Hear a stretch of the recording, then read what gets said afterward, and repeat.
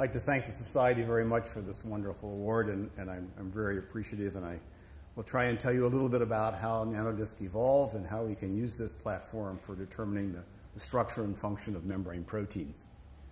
So, to start here, um, the nanodisc is this phospholipid bilayer, roughly 10 nanometers in diameter, that's stabilized by an amphipathic helix, belts, if you will, that wrap around uh, the discoidal structure. These amphipathic helices are nonpolar on the insides against the alkyl chains of the phospholipids, and they're polar on the outside. And the beauty of this system is that you can actually use this as a, a nanometer scale uh, surface of a membrane of defined and controlled composition. More importantly, you can also use the self assembly process to actually self assemble membrane proteins into the bilayer, where the membrane protein finds itself in its native phospholipid environment, so it's happy, it thinks it's a functional protein, but the entire thing is, is rendered soluble and monodispersed in solution uh, because of this amphipathic belt that wraps around here. And so this, the processes I'll show you is a simple self-assembly process where you start off with this amphipathic belt, which we call a membrane scaffold protein, phospholipids, and your favorite target molecule, and then in a self-assembly reaction, you can actually assemble these, your target protein into the bilayer that's in the nanodisk system. Now, nanodiscs are actually lipoprotein particles, and there's a vast literature of lipoprotein particles, goes back decades. Of relevance here is the high density lipoproteins, the so called good cholesterol, because they're part of the reverse cholesterol transport system that brings cholesterol and cholesterol esters back to the liver, but also deliver delivers it to the steroidogenic tissues for the synthesis of steroid hormones. It's been known for many years, of course, that the main protein component of high density lipoproteins is called ApoA1. And then from pioneering work very on, early on in the 70s, it was known that there's actually a, a lipid poor form of the high density lipoprotein that's not this circulating form of a ball with cholesterol and cholesterol esters all in the interior, but it's actually a lipid poor form that has a discoidal shape. And a lot of X ray scattering studies and so on in the, in the, in the early days actually proved this discoidal form of the uh, lipoprotein particles. We came onto the business sort of in the mid 90s because I had built an atomic force microscope and was looking for things to image. And so one of the things from Anna Jonas, she provided some uh, ApoA1 protein, and we tried to reconstitute lipoprotein particles that would be very homogeneous and monodisperse. Unfortunately, when we did that, we got a very large distribution. We published a paper back in the mid 90s that showed that the, the, size distribution of these particles was very uh, heterogeneous. And so we had a problem then trying to uh, uh, engineer these in a way that would actually provide monodispersed and very homogeneous type particles. And so that gave us then a bifurcation in this road between atherosclerosis research and receptor uh, incorporation of receptors into bilayers and the biophysics of membrane proteins. To move forward, we needed to understand something about the structure of the protein component as it interacted with the lipid uh, particle. And there were various models. This is a model from Jonas and, and, and Schulten where the, the amphipathic helices are running up and down in the so called picket fence model uh, of, a, of, a, lipoprotein particle. And then later, Segrest and colleagues came up with the, the belt model of the protein, and we now know from a variety of, of measurements using cryo-EM, NMR structures, and so on, cross-linking, that in fact the belt model is the model that we actually uh, use now, the actual structure of the lipoprotein particle. So to move forward then, we needed to actually begin to genetically engineer the ApoA1 protein to remove those parts of the sequence that were not involved in forming these homogeneous discoidal particles, and also to understand something about the self-assembly process. And so we did that with a synthetic gene that we built, and by the mid-2004, I think, we had a a, a, sequence that we could actually then reconstitute. We, if we were careful about the stoichiometry of the lipids that were used, we could generate very homogeneous and monodispersed particles, either characterized by electron microscopy, or in this case, counting the phospholipids across the size exclusion column uh, chromatography spectra. More recently, of course, we can prove this in a, in a better way. We have a, um, a Mike Marty, a graduate student in my laboratory, in collaboration with Mike Gross and, and Bob Blankenship at WashU. Been done a lot of mass spectrometry on nanodisk, and you can actually fly the entire nanodisk in a mass spec. And if you look at this carefully over here, you can actually count the number of phospholipids that are in a, a, a uh, homogeneous particle uh, size distribution. And basically, you're looking at a, a nanodisk population that has plus or minus one or two phospholipids. So this is now the, the basis of going forward. And so the real beauty here is now that the membrane scaffold protein that encircles this as these belts can be engineered with a variety of different properties. We use a synthetic gene, as I said before. We express this in E. coli, and, and the expression levels are somewhere between a half and a gram per liter. So these are a commodity. They're not really a, a high uh, cost uh, reagent. And you can change the size of these by adding helices or subtracting helices to give different size particles. And we have a whole variety of different tags that you can put on the scaffold protein. And I'll show you examples of how those are used in, in a couple of minutes. So you can put the His tags on the N terminal, the C terminal. We have biotin tags either genetically encoded on the C terminal or attached to specific cysteine residues that can be engineered into the scaffold protein. We have flag tags on either the N or C terminal. We have targeting um, uh, sequences that I'll show you a little bit about later, whether CMYC or RGD tags, various kinds of oligonucleotide tags that can go on here so you can have a, a, a DNA encoded barcode, if you will, for making arrays and doing high throughput screening, various kinds of magnetic beads I'll show you about in a minute. And we have a variety of different fluorescent uh, uh, nanodiscs as well, as well as dark nanodiscs where we've engineered to have no tryptophans or even an ultra dark nanodisc where it has no tyrosines or tryptophans. This is useful from some assay platforms where you want to make use of the incorporated membrane protein target has its own tryptophan or, or, or uh, tyrosine residues that you want to spectroscopically uh, uh, um, inquire about. Uh, we have Stealth Nanodisc. This is a collaboration with, uh, in Denmark for uh, X-ray and neutron scattering with Lisa Arleth that has ND um, hydrogen deuterium matched the, the nanodisc so it's invisible in neutron scattering, and now you can use this to study your incorporated membrane protein structure. And as I'll show you, we have endotoxin-free nanodiscs as well.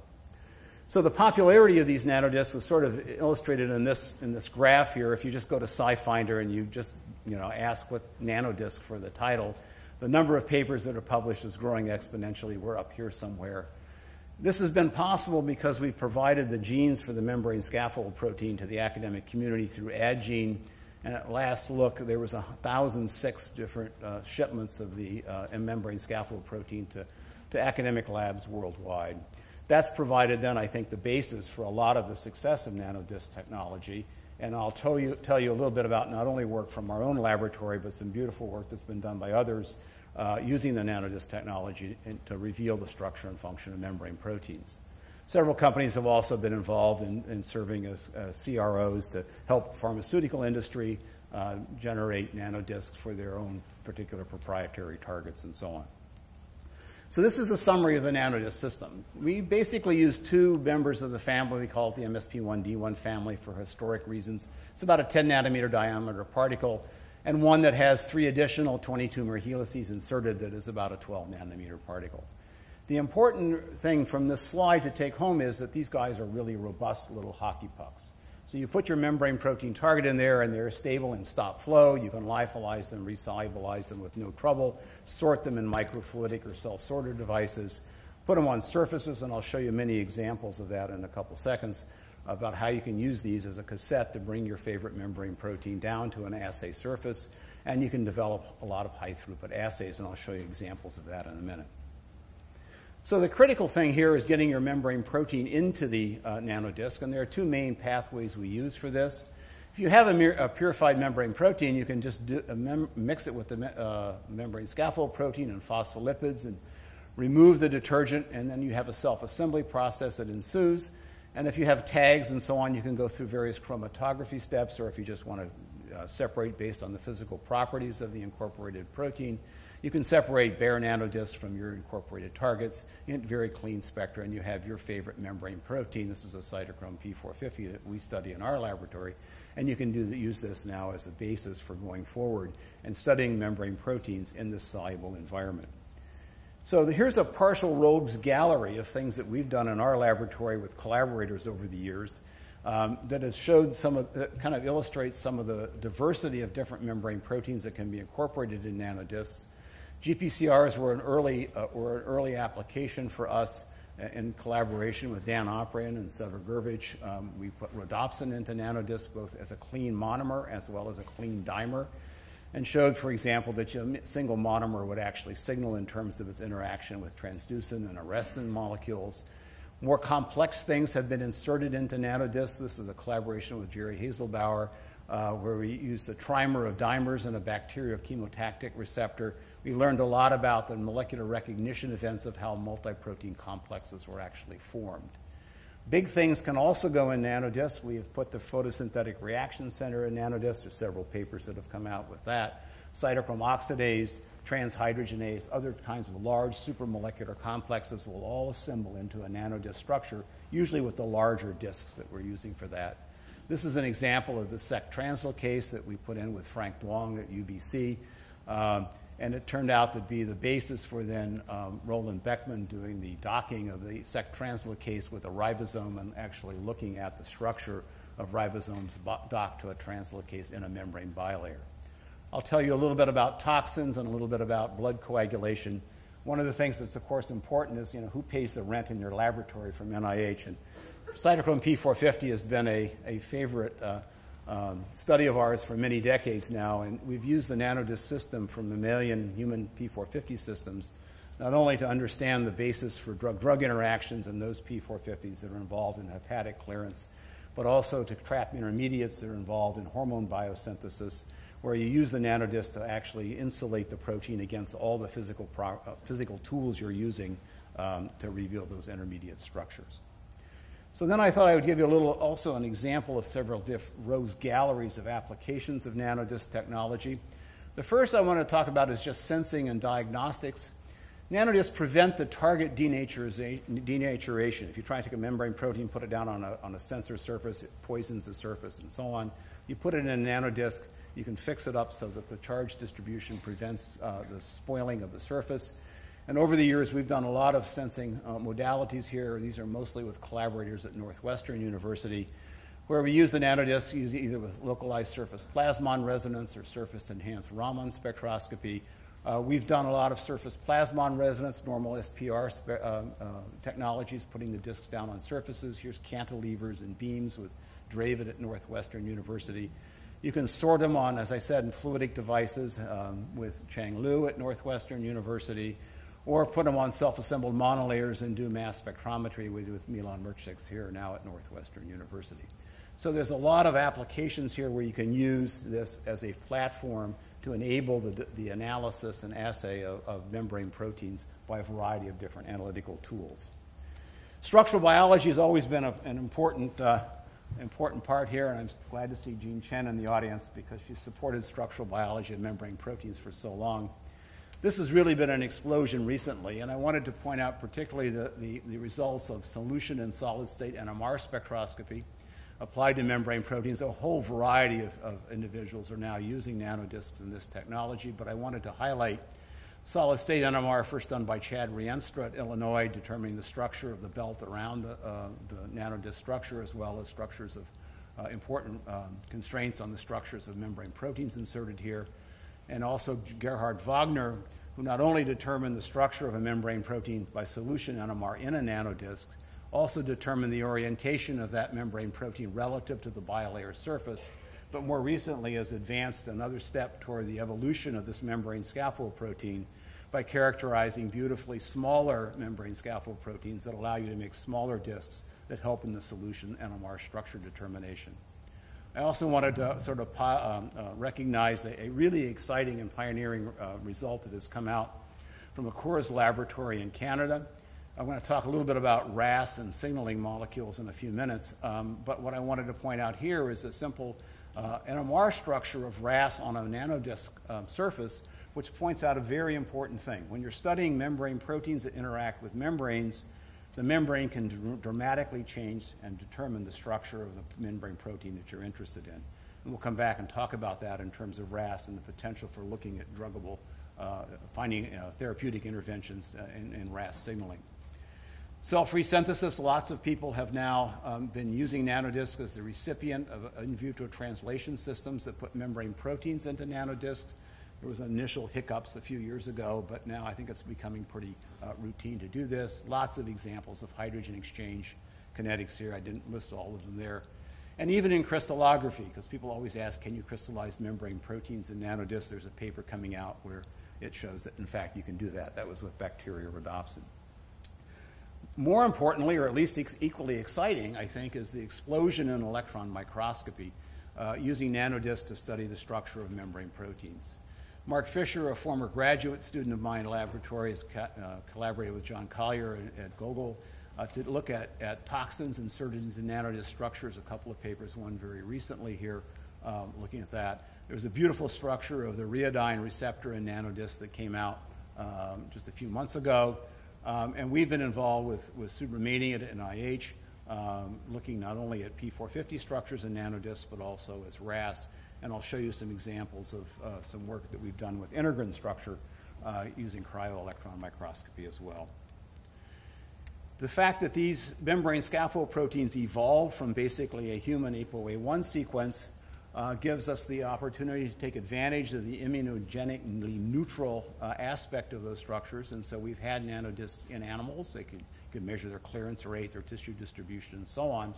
But importantly, they can be used to deliver peptides, lipids, proteins, and even nucleic acid, as shown by Alnylam some years ago, uh, in, in vivo sort of delivery mechanism. And this is an example that we, we had uh, published a couple of years ago with Dennis Voelker in, in uh, Denver, where you can actually deliver a therapeutic lipid. In this case, it's POPG, and you can protect against respiratory viral infections and also inhibit then the inflammatory response that's called, caused by lipopolysaccharides interacting with toll-like receptor mediated actions. So you can do these guys in vivo as well.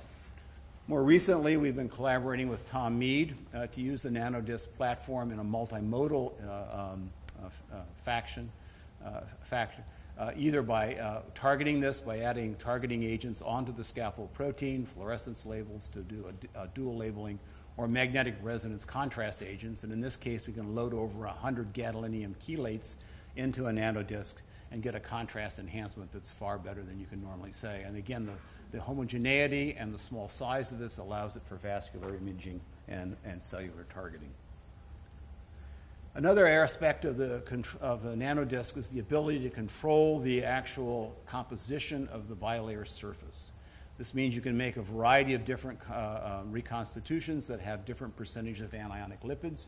And in many biological systems, anionic lipids seem to be a factor in the recruitment of membrane proteins to a membrane surface. And we'll see more examples of that uh, in a few minutes. Collaborating with Jim Morrissey at Illinois, we've been able to sort of look at blood coagulation complexes, where in fact tissue factor is an integral membrane protein, is, is uh, assembled into nanodiscs, and then one can separate out the recruitment free energies uh, for various blood coagulation factors like factor 7 or factor 10, either through protein protein interactions or through uh, the uh, electrostatic interactions that are mediated between anionic lipids and bridging, bridging calciums uh, and these blood uh, coagulation factors. The assay here is, again, you can just do normal surface plasmon resonance. This is a, a factor 10 binding isotherm and looking at the free energy differences as you make nanodiscs with different percentages of anionic lipid content. More complex are the uh, signaling pathways, and this is a very exciting, uh, um, currently um, ongoing work in our laboratory.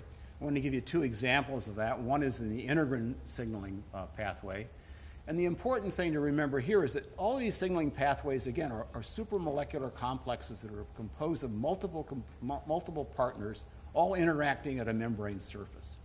So many years ago, we collaborated with Mark, Mark Ginsberg and, and um, Taylor at Florida to actually show the first example of an inside out signaling event where talin would bind to the inside part of the bilayer and change the conformation of the integrins. This was by cryo EM.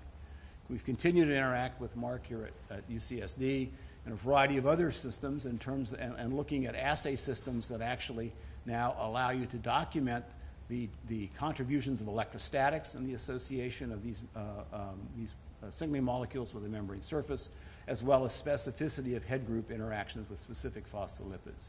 So the assay here is a FRET-based assay, so you put a donor molecule on, your, on the belt around the nanodisc, an acceptor molecule on your, uh, on your membrane protein. In this case, it's the tail and head domain, and you can do very nice assays as a function of the lipid composition that changes the, the, the uh, charge, distant, charge uh, content of the nanodisc.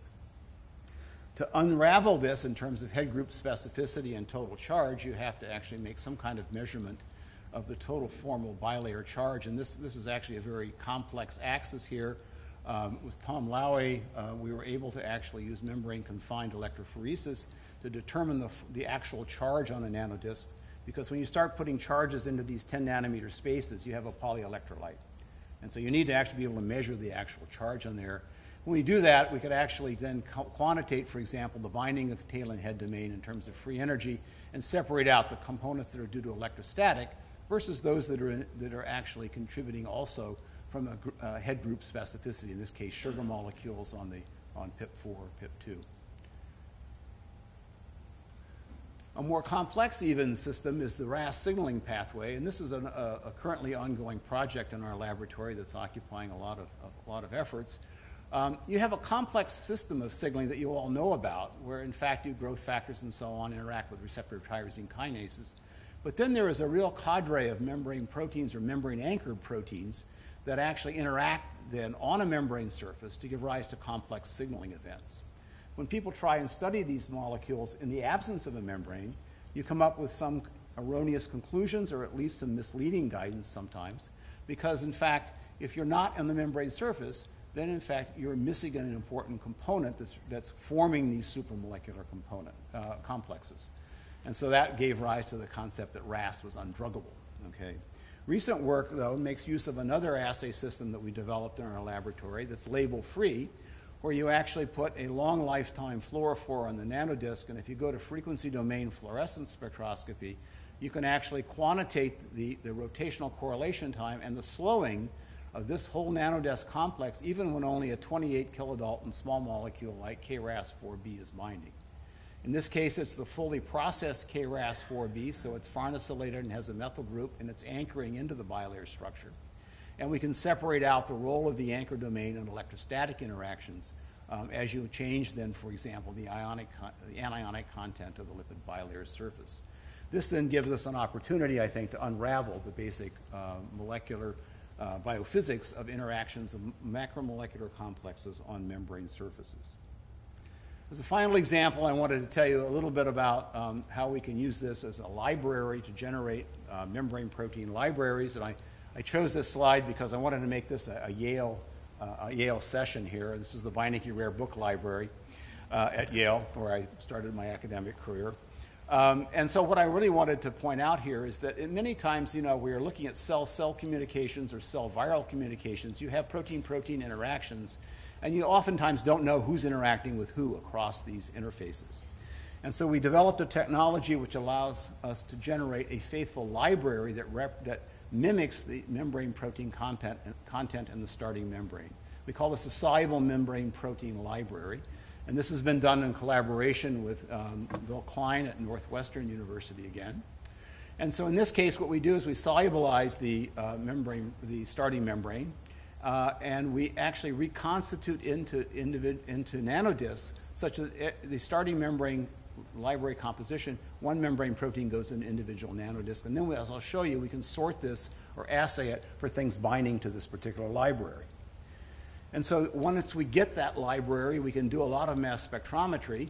And this is an earlier paper that came out with Mike Marty from my laboratory, where we actually could show that you can indeed res- resolve the, the mass spectra of a GPCR or other proteins that are incorporated in that. Mike has gone on to do a postdoc with Carol Robinson at Oxford and now can fly the entire library onto, on a mass spec and determine the, the composition of the membrane proteins that are in that library. As a specific example, we looked at a, a, to attack a hypothesis that Bill Klein put forward many years ago that Alzheimer's disease was actually mediated by A beta oligomers interacting with a specific receptor in the synaptic junction. So to assay that, what we do is we actually put a magnetic bead on the, on the belt of the nanodisc. We have an antibody from Bill re, that recognizes the A beta oligomers. We generate this soluble membrane protein library, and then we can do a double pull down and isolate pieces that are in that library. When you do that experiment, you can actually assay the entire library as, as A beta oligomers bind to that library. You can first show that everything in the library is there that you can assay. We assayed a bunch of them over here, but the key proteins are in there. You can assay the, the binding of A beta oligomers to the entire li- library and generate an assay to that or you can do that double pull down and isolate potential targets for the, uh, for the nanodisc system. An assay here using the assay against the total library is just a, is just a, a, a, a alpha screen assay where you can actually use diffusible singlet oxygen. In this case, you have an acceptor molecule tied to the belt, you have a donor molecule tied to your A beta oligomer, and you can identify compounds as you screen this, this soluble membrane protein library uh, and against a small molecule library and find compounds that will actually go back in vivo and inhibit A beta oligomer binding uh, to synaptic spines. And as a final example, just one slide, let me just point out that this is something very exciting, very new to us. If you think about it, you want to have a membrane protein that raises an antibody response. You want to have the right conformation of your membrane protein. So a paper that just came out with our collaborators here at Scripps, um, you can actually put the HIV um, transmembrane domains in there, and the, in the nanodisc system, it actually allows you to have an epitaxial presentation of the faithful antigenic uh, site that's there. And there are several other examples that have come out recently, starting with a company I formed many years ago um, that actually show that you can actually get um, neutralizing antibody response. So I've, i see the lights blinking, so I want to finish. Um, I want to thank everybody for contributing all of this work. As I said earlier, uh, the explosion of nanodisc technology is, is, not just from my laboratory, but a laboratory really of thousands that are now using this technology. I particularly want to thank NIH uh, for continuing funding our laboratory over these years, and also wanted to point out one thing about the advantage of academic research. It's not really what you do as a professor, but it's what your students that you come through your laboratory ultimately end up doing. And Dave Heimbrook is now the, the director of the Frederick National Laboratory for Cancer Research and got us back into RAS. He was my first graduate student, actually, at, at Yale many years ago. Other uh, uh acknowledgments uh, I, will just list here on the slide. And, and, here's my current research group at, at, Illinois. So I thank you for your attention and be happy to answer any questions if there's a question and answer period.